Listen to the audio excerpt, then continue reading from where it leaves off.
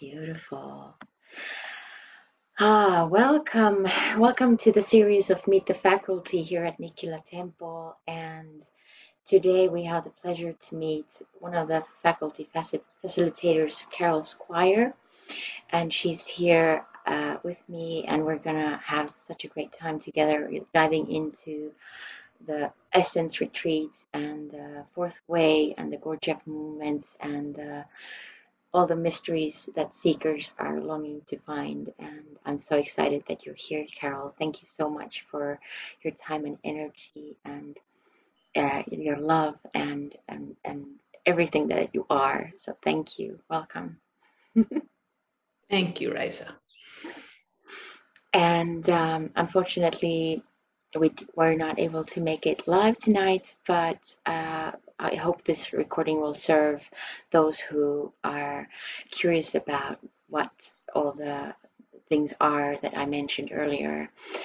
And uh, if anybody has any comments, questions uh, that come up during this video or this recording, uh, please uh, make them in the comments section so that uh, I can um, either I can uh, ask, answer them or I can pass, pass on the questions to Carol and we'll have a deeper conversation that way.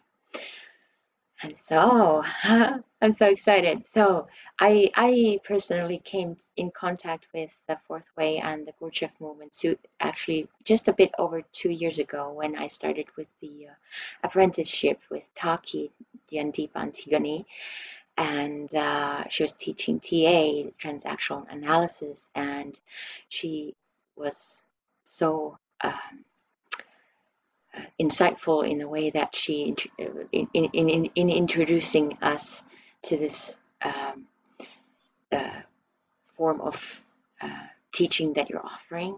Uh, for me, it has been totally life changing because the way that it brings the teachings into form, into matter, into my everyday life.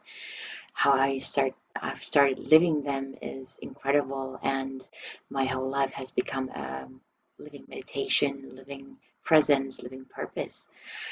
And so this is just totally my experience, and I want to thank you for the past two years, Carol, for for that offering. And my first question actually is to you: How do you see what uh, the fourth way and the Gurdjieff movements are and how are they different from any other uh, teachings or offerings out there? Wow. The fourth way. The fourth way implies that there are the first three ways.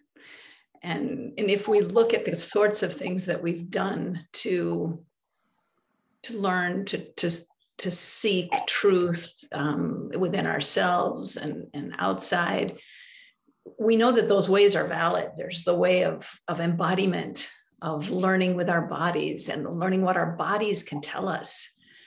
Uh, there's the way of our intellect, and we study and we learn frameworks and we we we watch and we observe ourselves and we see more clearly.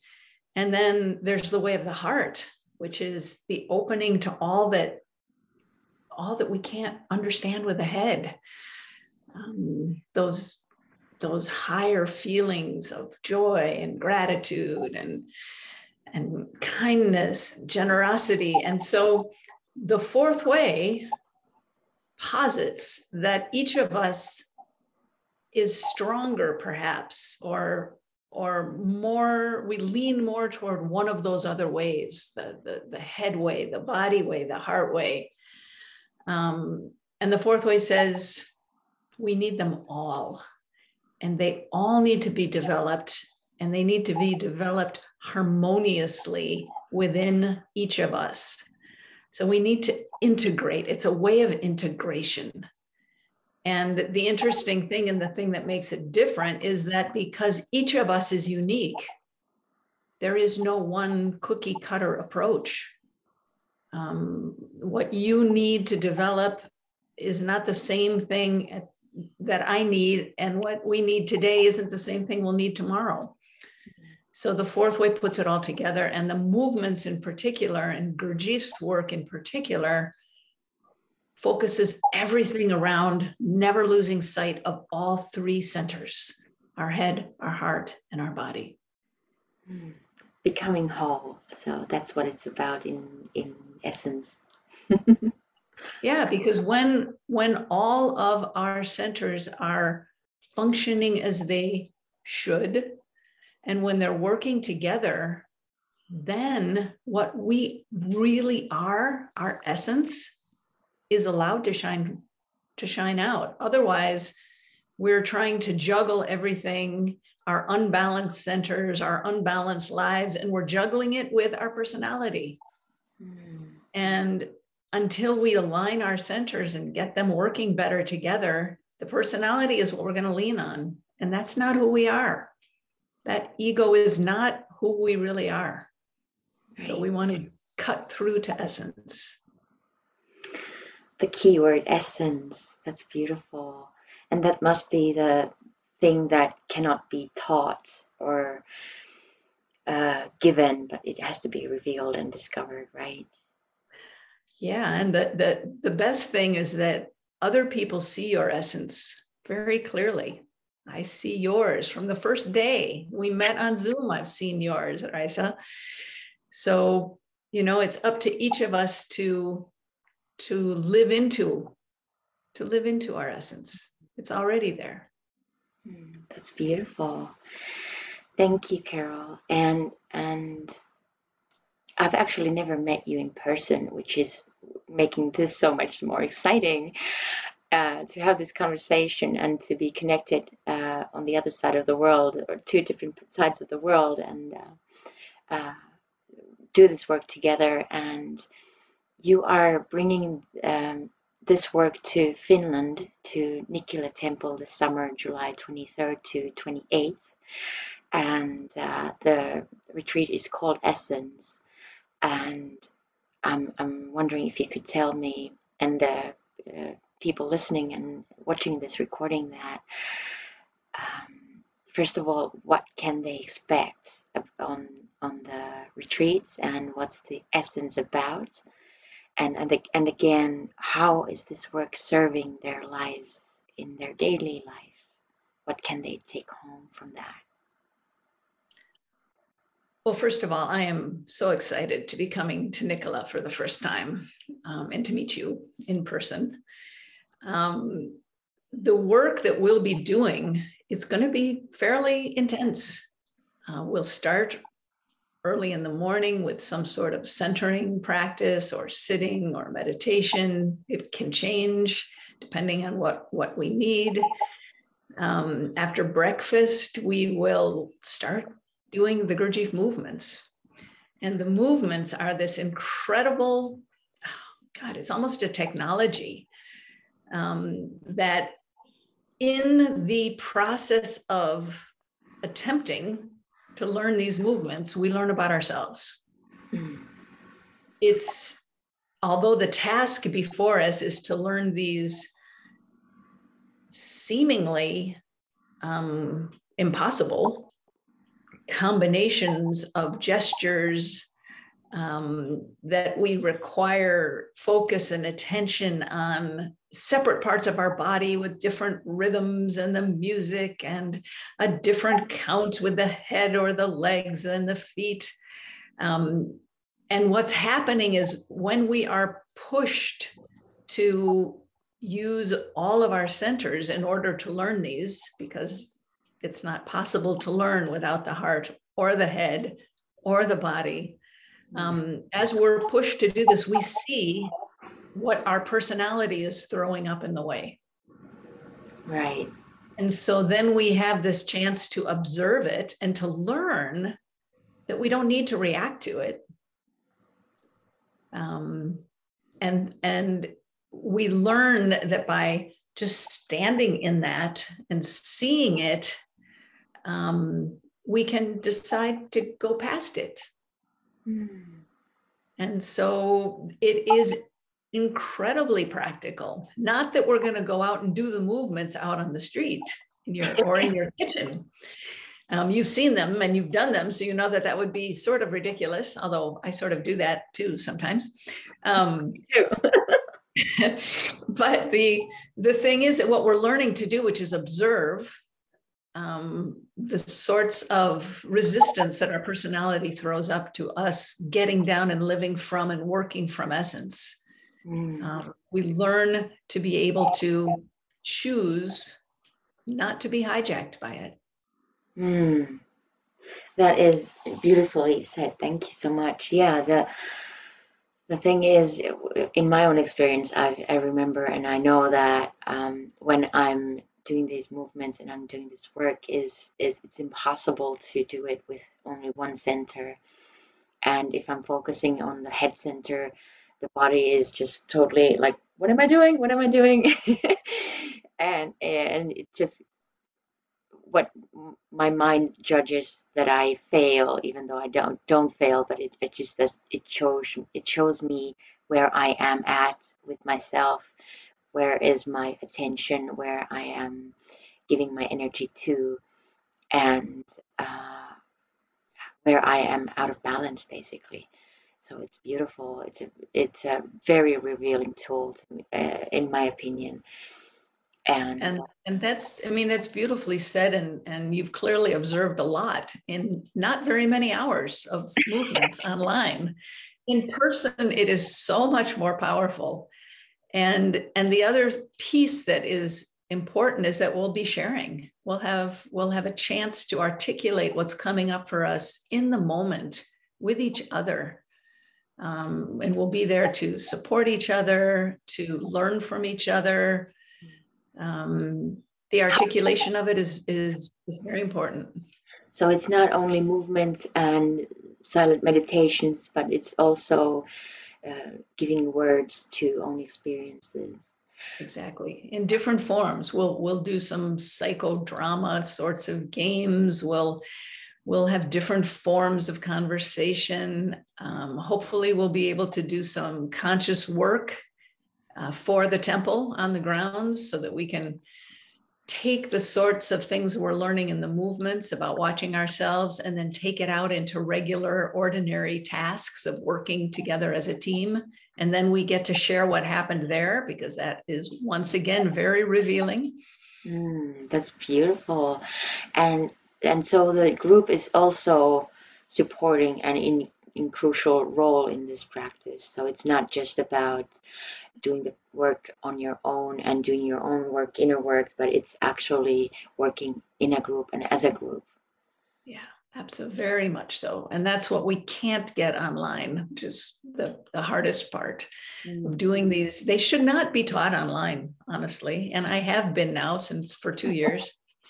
Um, so I'm so, like I said, so excited about coming and being with you with a group of, of sincere seekers who are ready for a challenge. Um, I don't want to scare anybody off. It's not physically challenging. In other words, people of all fitness levels can do this. We've worked with people in wheelchairs. Um, and it doesn't anything. require dance skills or anything like that. Yeah. Absolutely not. Absolutely not. We we come as we are. yeah, and, and I I like the I really appreciate also the um, principle that we are enough as we are. And so um, what I've gained from that is is exactly that that when I just show up, I am enough as I am, and even though I may be messy sometimes, and even though it sometimes may be harmonious and very zen-like, and I've reached um, a state of peace, but it's it's it's it doesn't matter.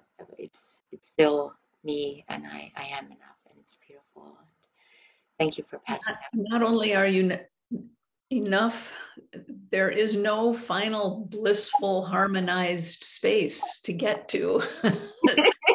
you know i mean the, the world is is constantly evolving and so what we're learning are the skills to be moving through the transitions and and understanding that wherever we are right now it's going to change mm. we, we can't hold on to it good or bad that is true yeah so and what we do is we enjoy literally with joy the process right going through these changes um, the world us the group Mm. Um, we, we can't hold on to it. It's not gonna just sit there for us. Yeah, and that is actually something that I, I really honor you for uh, bringing into this and, and through this work is that uh, yes, we cannot really um, just I'm gonna take this I'm gonna take this part of the teachings or this part of my life or this part of the world because I like it, and I'm gonna leave this out because I don't like it. It brings me stress and anxiety or whatever.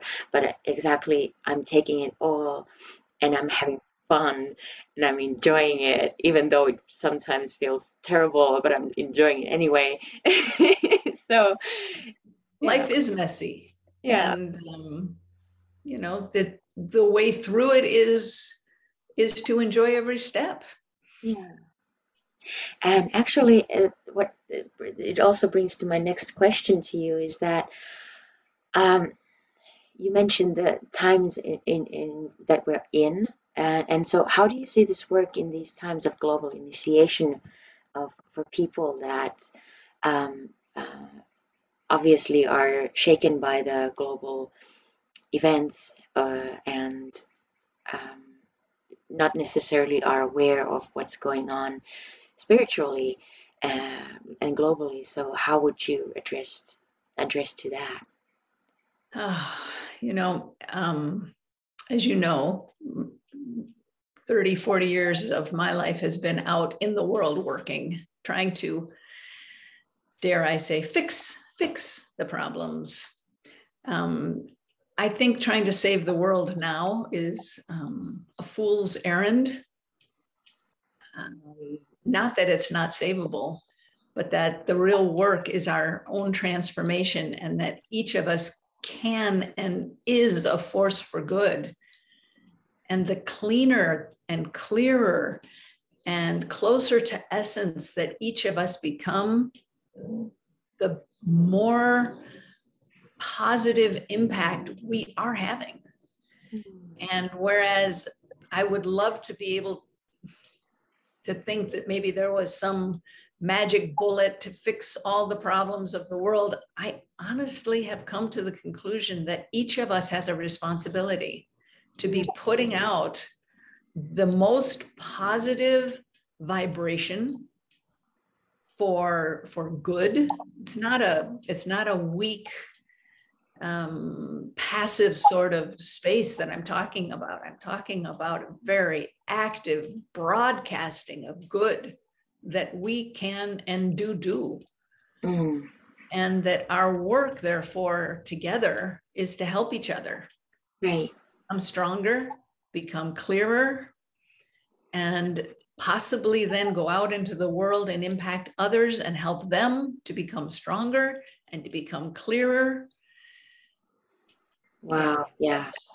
that's what i think this work is Yeah. So not giving your power away, but rather owning it. And even though maybe we may be tumbling down or falling down, we always get up and we also have help.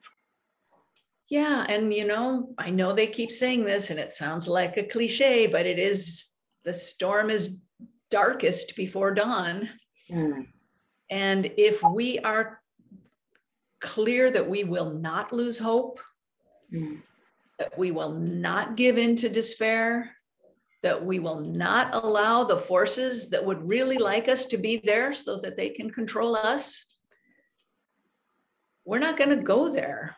mm. And so we will be ready when the time is right, when dawn comes or when the storm intensifies. We'll be the ones to stand there and say, Yeah, now we know.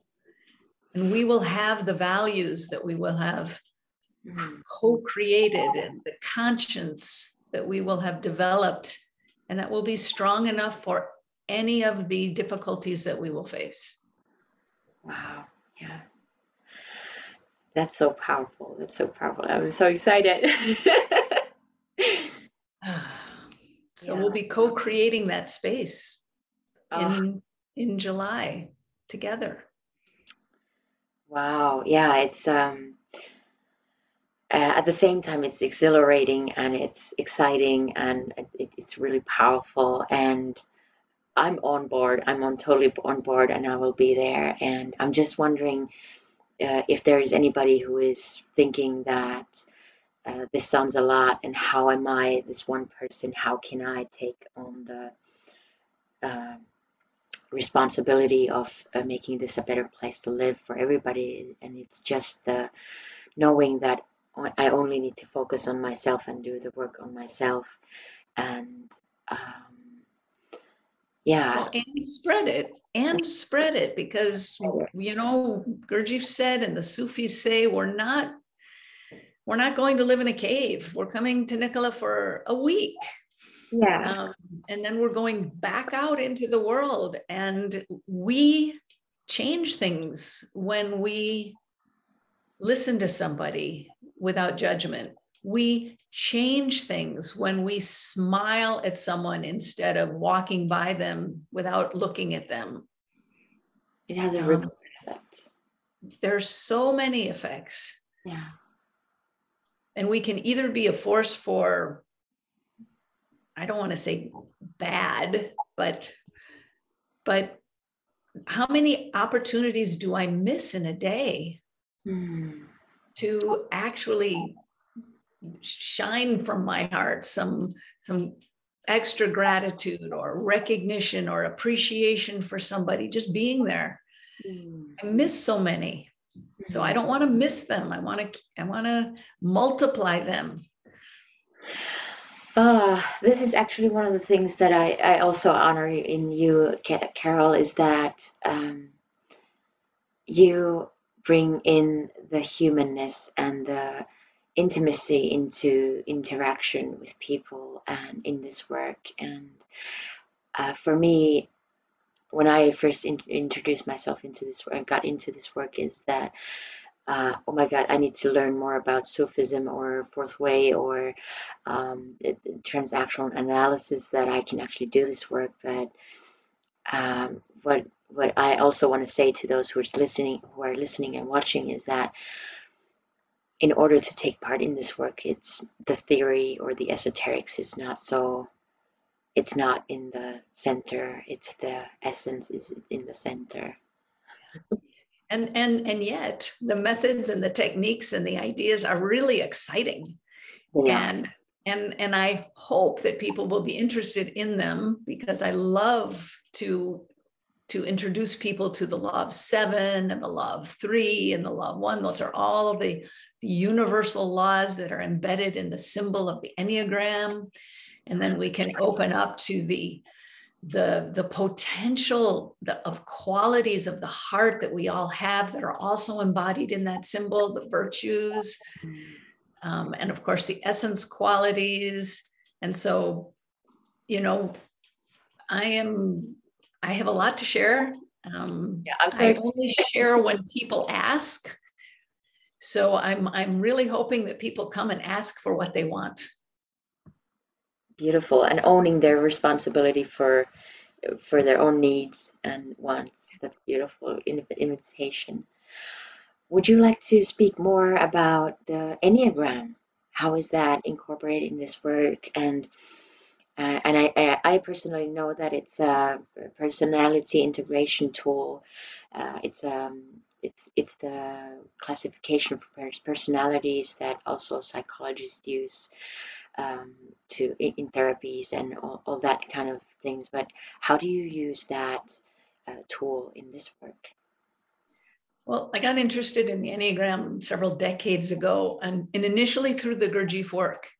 And the Gurdjieff work um, does not specifically talk about the Enneagram as a personality typing um, modality. Um, however, the students of Gurdjieff that did take this Enneagram symbol and turn it into a tool for psychology have really added something to the work.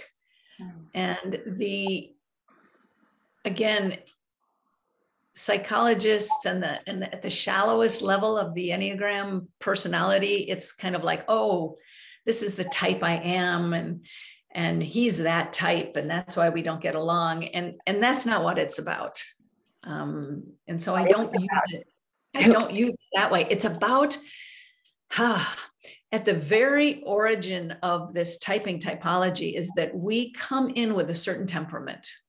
Mm. We just come into the world with this temperament. And it is in part created at the time of our separation from source.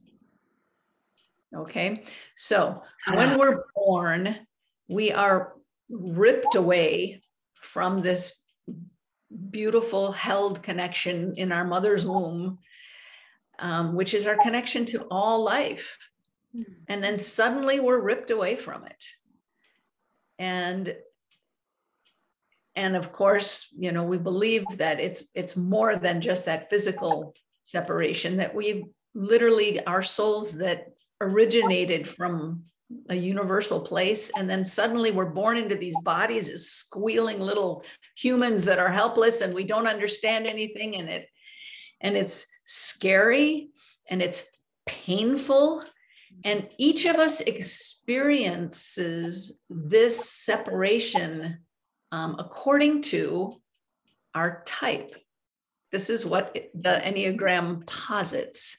So I can feel, for example, a loss of uh, vitality, or I can feel a loss of unity, or I can feel a loss of the deep mystery that I'm longing to get back to, or um, true objective knowledge, or whatever it is that that I feel most hurt by, most wounded by. And as a mm. result of that, I start developing ways of compensating for that, of trying to get it back. And that turns into a personality structure. Right. Okay. And so, inherent in that is that when we do this work, we use the strengths of our type and our essence qualities to work through the issues around personality. So, very similar to TA. um, and then what starts to emerge as we are also working to integrate our three centers is these very special heart qualities emerge that we call the virtues and these are things like like uh, innocence and um, inclusion and equanimity and just uh, humility and uh, just beautiful, beautiful spaces that all of us can have. In other words, not just by our type. We, we kind of come up through our type and then all the others become available to us. Mm-hmm. So the way that we'll be working with it is I like to be what I call aspirational. I think that people like to work towards something really positive instead of working on the negative. Mm. So I like to show us what's possible. What is our potential? What is real human potential? Mm. And it's and I'm using the Enneagram as a as a way of saying here are these nine ways because Enneagram means nine points. Here are these nine incredible essential qualities that we all have. Wow, that's amazing. And so so we'll be doing some exercises to embody that um, because again it's it's not enough to just think about it or explain it or talk about it yeah that's only one, one it's only one center and then sometimes our heart is opening and we sort of have this felt sense of it, but we don't know how to use it in the world. So that's where embodying then becomes important. And when we put all three centers together, then we really experience it. Wow, that is beautiful, and it also sounds sounds magical for only five days to experience. And actually, that it brings me to the next question. Of you mentioned resistance earlier, and how the personality uh, tries to prevent uh, us from shining our essence. And I'm, I'm wondering, uh, would you speak more into the resistances that usually most commonly come up when uh, coming in contact with this work? ah, the, the beautiful part is that whatever resistances come to this work are the resistances that we all have out in the world. Mm. So when they come up in this space, we get to see them and we mm. get to say, oh, yeah, this is exactly what happens to me in the world. So, as many resistances as there are individuals, okay. Right. So, but but commonly, um, you know, in the beginning it's hard, and then people are telling themselves, "Oh, I'm not good enough," or "I can't do this," or "I'm dyslexic," or I'm not coordinated. Those are the kinds of things that that not good enough is is a very common resistance that comes up. Mm. Um, sometimes we get really angry. Sometimes anger comes up because it would be really easy to teach these movements so that you could get it really easily. Mm. But we don't. We make it harder. Mm. And that can be really frustrating sometimes. And we want to see what happens. At what point does frustration become resistance? Right. And at what point does it drive you through? Because you can also use that energy. So sometimes resistance can be a gift. Amazing. That's fabulous. And to just um, become aware of the energy that is there and then harvest it as a force of nature, basically. That's it is a force of nature. It's coming straight from you. Yeah. oh, beautiful. Ah, I'm so looking forward to this. Um, I, I have one more question, and that is that um, uh, we didn't go into introductions at the beginning, and I have my reasons because I, I I'm I'm a person who wants to dive in and I want to dive deep, and I I just want to go right in there, and you have a have decades of history with this work and uh, with your practices and your offerings and your uh, own journey, and I'm wondering. Um, what would you like to share about that journey? Uh, if so, and how how do you see you personally learning this yourself and teaching it yourself uh, over these decades decades? How is it affecting you personally and the world transpersonally? How do you see that? How, how, how do you see the effect of the past decades of your life you're you're you, you yourself learning and teaching this art and work wow i think possibly i would not be alive today if i hadn't met this work mm-hmm. um, i was a classic type a driving workaholic um, driven by my now i understand better my enneagram type which wants to fix the world and protect all the vulnerable people and to do it with passion and and overpowering everything around me. Um, so when i came into contact with this work i was very resistant to it. I was resistant to slowing down. I was resistant to meditation i was resistant to anything that didn't seem practical mm. And there was something about my experience in the movements, particularly, that sort of gave me a taste of presence where things suddenly just for a moment just a flash lined up and i wasn't thinking crazily about something i needed to do at work or worried about my kids or angry with my husband whatever it was i was here. I was here in this body with all of me working. And it, I just suddenly felt that it was so important. And I didn't know why, but I also knew I had never experienced it any other way. So that began the journey. Um, I had also in my life managed to shove aside all of my questions about the life that isn't very practical. In other words, I had been a seeker in my youth and I had just decided it wasn't practical.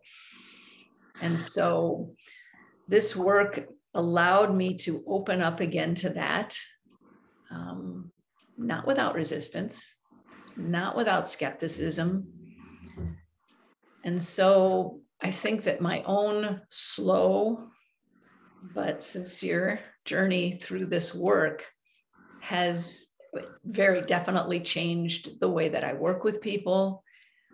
Um, it changed the way that I wanted to show up in leadership roles.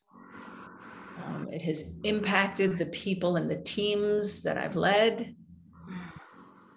Um, yeah, I'm not the same person that I was 25, 30 years ago. Yeah. This wow. work is powerful. It's profound. Yeah. And it can work with skeptical people. In fact, you know, most of us say don't believe anything you haven't experienced. Mm. Stay open to the ideas and the methods only as far as you try them. And if they don't work, then you go on to something else. Uh, that I feel I feel thank you for sharing that. And I, I feel that is extremely empowering to hear that, to hear that don't believe anything unless you've experienced it yourself, to to not take anything given and not take anything out of your own system, but to own the responsibility and power in owning what's true for yourself. What do you know by your own experience? And or, or I, what do I know by my own experience? And how is my body or my heart or my head responding to different things? And I don't have to agree. not have to agree. Agreeing is kind of useless. So what does that even mean? You know, well, what is I don't have my to, idea? Yeah. What is my idea? What is my truth? And I don't have to please or be of the same opinion and we can still love each other and uh, co-create. And I can allow for my opinion to change and be changed by hearing yours. Yeah, give more insights of, about myself. Yeah. Wow, this has been so powerful. Thank you so much, Carol. Um, Thank you for, for taking the time, for creating this space, for organizing this retreat that I feel will truly be transformational. I, for me. I, for me as well, I believe so. And for those who are joining us. So, um, yeah, so you will be here at Nikkila Temple, Finland um, uh, July 23rd to 28th, and um, all the info regarding that retreat uh, will be provided in the comments of this recording, and there's a Facebook event there.